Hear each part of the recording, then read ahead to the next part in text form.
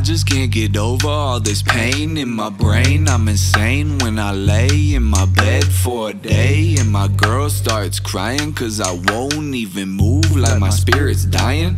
Like I warged into a raven and away I'm flying to save the day. But I am not sure what I am doing. Moving with no purpose. Every day I dream I ran away to join the fucking circus. Nurse, it hurts when I get nervous, then it worsens.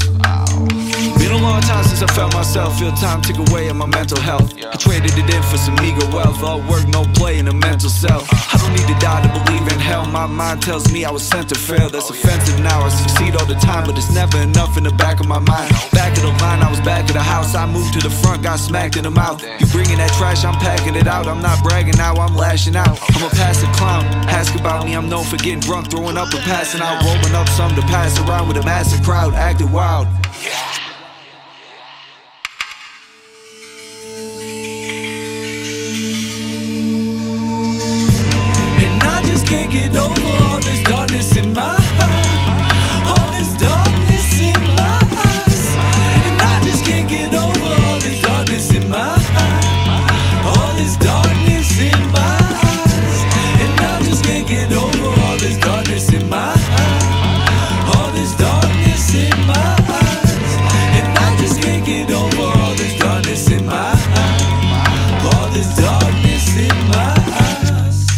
I just can't get over all the sins that I've committed in this life that I was living. I was wicked. This is something I am switching, but my hopes and dreams have switched to ways and means, and I still do unsavory things from time to time.